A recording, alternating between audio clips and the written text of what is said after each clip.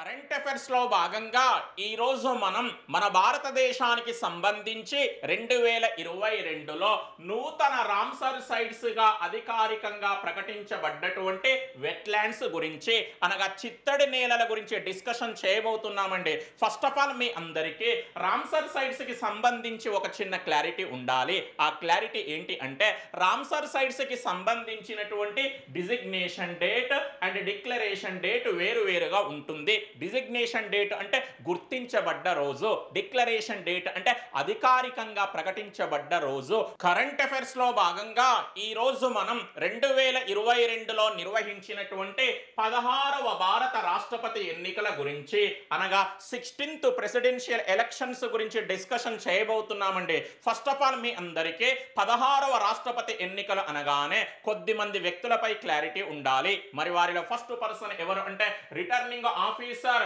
మరి పదహారవ రాష్ట్రపతి ఎన్నికలకు ఎవరు రిటర్నింగ్ ఆఫీసర్గా పనిచేశారు అంటే రాజ్యసభ సెక్రటరీ జనరల్ అయినటువంటి పిసి మోడీ. కరెంట్ అఫైర్స్లో భాగంగా ఈ రోజు మనం రెండు వేల ఇరవై రెండులో నిర్వహించినటువంటి పదహారవ ఉపరాష్ట్రపతి ఎన్నికల గురించి అనగా సిక్స్టీన్త్ వైస్ ప్రెసిడెన్షియల్ ఎలక్షన్స్ గురించి డిస్కషన్ చేయబోతున్నామండి. ఫస్ట్ ఆఫ్ ఆల్ మనం ఏం చేయాల్సి ఉంటుంది అంటే ఈ ఉపరాష్ట్రపతి ఎన్నికలకు సంబంధించిన కొన్ని ముఖ్యమైన అంశాలపై క్లారిటీ తెచ్చుకోవాల్సి ఉంటుంది. మరి వాటిలో ఫస్ట్ వన్ ఎలక్టోరల్ కాలేజీలోని సభ్యులు సాధారణంగా ఉపరాష్ట్రపతి ఎన్నికలకు సంబంధించిన ఎలక్టోరల్ కాలేజీలో ఎవరు సభ్యులుగా ఉంటారు అంటే పార్లమెంటు ఉభయ సభలకు చెందినటువంటి మొత్తం సభ్యులు. ఇక్కడ మొత్తం సభ్యులు అంటే మీనింగ్ ఏంటి అంటే ఎన్నికైన సభ్యులతో పాటు నామినేటెడ్ సభ్యులు అని అర్థం అండి. కరెంట్ అఫైర్స్లో భాగంగా ఈ రోజు మనం ఇటీవల విడుదల చేసినటువంటి ప్రపంచ జనాభా అంచనాల గురించి అనగా ప్రపంచ ప్రపంచ జనాభా నివేదిక గురించి డిస్కషన్ చేయబోతున్నామండి.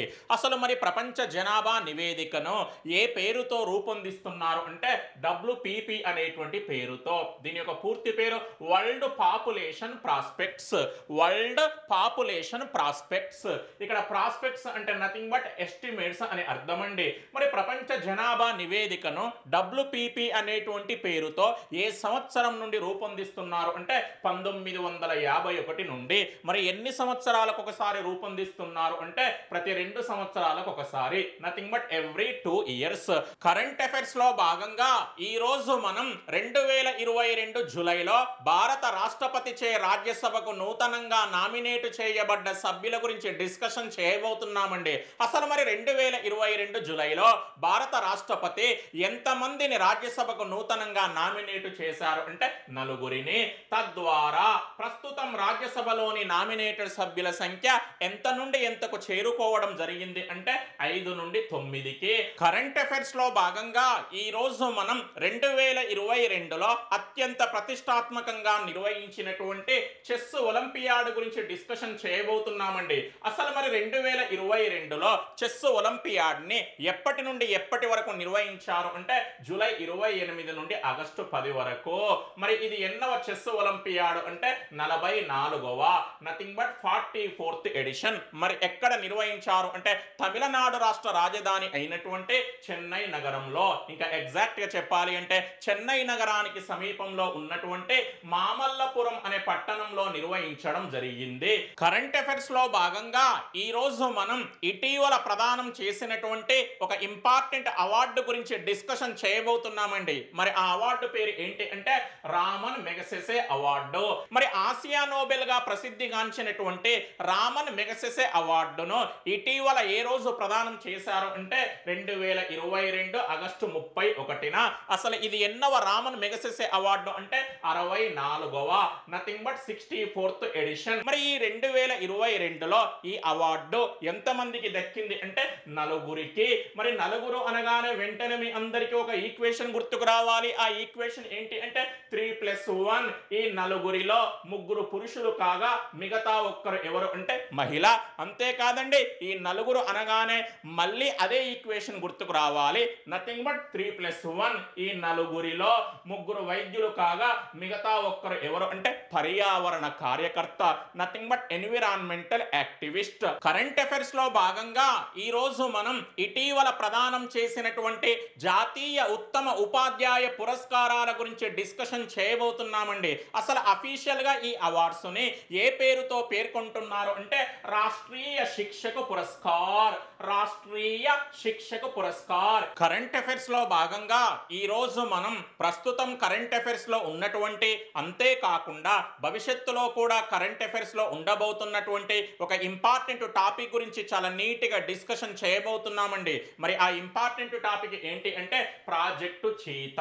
అనగా ప్రాజెక్టు చిరుతపులి. సైన్స్ అండ్ టెక్నాలజీలో భాగంగా ఈ రోజు మనం ఒక ఇంపార్టెంట్ ఆర్గనైజేషన్ గురించి అంతేకాకుండా ఆ ఆర్గనైజేషన్కి సంబంధించినటువంటి కరెంట్ అఫైర్స్ గురించి డిస్కషన్ చేయబోతున్నామండి. మరి ఆ ఇంపార్టెంట్ ఆర్గనైజేషన్ పేరు ఏంటి అంటే సిఎస్ఐఆర్ ఫస్ట్ ఆఫ్ ఆల్ మీ అందరికీ సిఎస్ఐఆర్కు సంబంధించిన కరెంట్ అఫైర్స్ అనగానే మూడు విషయాలు గుర్తుకు రావాలి. ఆ మూడింటిలో ఫస్ట్ వన్ ఏంటి అంటే సిఎస్ఐఆర్ ఎనభైవ వార్షికోత్సవం. Nothing but eightieth anniversary of CSIR second one C CSIR తొలి మహిళా director general nothing but first women director general of CSIR third one Noida twin towers కూల్చివేత nothing but demolition of Noida twin towers మీ అందరికీ తెలియాల్సిన చిన్న clarity ఏంటి అంటే అత్యంత సురక్షితంగా నోయిడా ట్విన్ టవర్స్ను కూల్చివేయడంలో క్రియాశీలక పాత్ర పోషించినటువంటి పరిశోధనా సంస్థ దేనికి చెందినది అంటే సిఎస్ఐఆర్కి చెందినది. స్పేస్ సైన్స్కి సంబంధించి సంబంధించిన కరెంట్ అఫైర్స్లో భాగంగా ఈ రోజు మనం ఇటీవల భారత అంతరిక్ష పరిశోధన సంస్థ అనగా ఇస్రో అత్యంత ప్రతిష్టాత్మకంగా నిర్వహించినటువంటి ఒక ముఖ్యమైన ప్రయోగం గురించి డిస్కషన్ చేయబోతున్నామండి.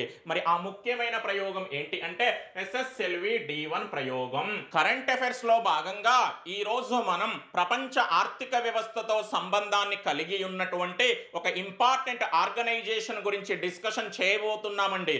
మరి ఆ ఆర్గనైజేషన్ పేరు ఏంటి అంటే ఎఫ్ఏటిఎఫ్ ఫస్ట్ ఆఫ్ ఆల్ మీ అందరికీ తెలియాల్సిన విషయం ఏంటి అంటే ఇటీవలి కాలంలో ఈ ఆర్గనైజేషన్ గురించి రెగ్యులర్గా క్వశ్చన్ అడుగుతున్నాడు. అంటే మీరు ఏం చేయాల్సి ఉంటుంది? ఈ ఆర్గనైజేషన్ గురించి కంప్లీట్గా తెలుసుకొని ఎగ్జామ్కి వెళ్ళాల్సి ఉంటుంది. మరి ఈ ఆర్గనైజేషన్ యొక్క అబ్రివేషన్ ఏంటి అంటే financial action task force short form చూస్తూ అబ్రివేషన్ చదువుకోండి. షార్ట్ ఫామ్ ఏంటంటే ఎఫ్ఏటిఎఫ్ మరి అబ్రివేషన్ ఏంటంటే ఫినాన్షియల్ యాక్షన్ టాస్క్ ఫోర్స్